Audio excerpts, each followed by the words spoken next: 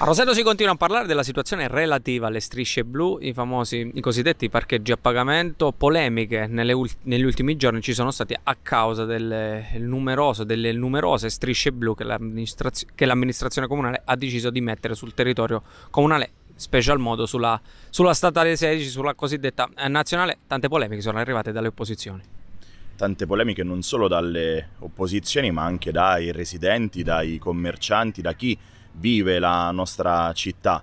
Eh, in, nelle ultime ore, negli ultimi giorni abbiamo ricevuto centinaia e centinaia di telefonate, messaggi di protesta perché l'amministrazione Nunez ha ancora una volta non ascoltato eh, i cittadini, non ha ascoltato le opposizioni e ha contraddetto per l'ennesima volta anche quello che proponevano e che raccontavano durante la campagna elettorale. È bastato solamente un anno e mezzo per disconoscere completamente quanto raccontato durante la campagna elettorale e i cittadini rosetani ormai hanno preso coscienza. In pratica sono state colorate eh, di blu gli stalli sul lato est del, della SS16 che fino all'anno scorso erano completamente bianchi come Fratelli d'Italia a riguardo presenteremo un'interrogazione anche per chiedere della legittimità di questa operazione. Sappiamo infatti secondo il codice della strada che oltre alle strisce blu devono essere presenti nelle vicinanze delle strisce bianche in percentuale, in rapporto tra strisce blu e strisce bianche.